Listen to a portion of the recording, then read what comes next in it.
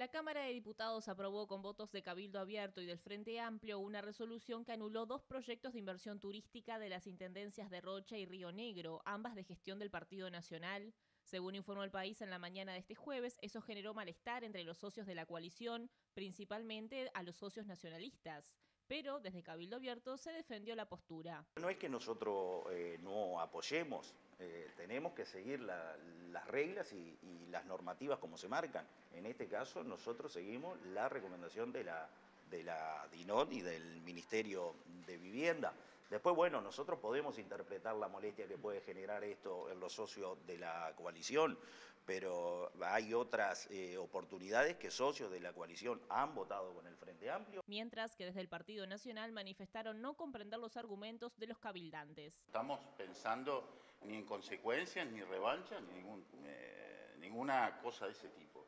Pero obviamente quizás nos obligue a la bancada quien así lo quiera considerar, ah, bueno, a revisar nuestro nivel de relacionamiento en el Parlamento, que hasta ahora había sido de cortesía, de acompañamiento, de paciencia a veces para discutir y analizar cada uno de esos temas. Y bueno, me parece que esa actitud que hemos tenido hasta ahora no se ha visto de algún modo eh, contestada en las actitudes que se han tenido hasta así. De todos modos, ambos legisladores aseguraron que la coalición de gobierno no corre ningún tipo de riesgo.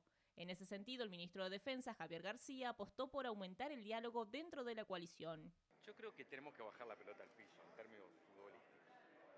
Los, dirigentes políticos no podemos dividir lo que la gente unió en las urnas. Y la coalición es producto de una vocación política de la mayoría de los uruguayos expresados en las urnas.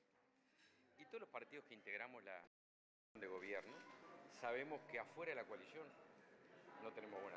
Tenemos que hacer un poco más de vestuario, de, hablar más, de, tomarnos un tiempo y, yo creo que en la medida que este instrumento nuevo y los dirigentes llevemos ese camino de más diálogo, las matices que pueda haber, las diferencias que pueda haber, se van a ir este, solucionando.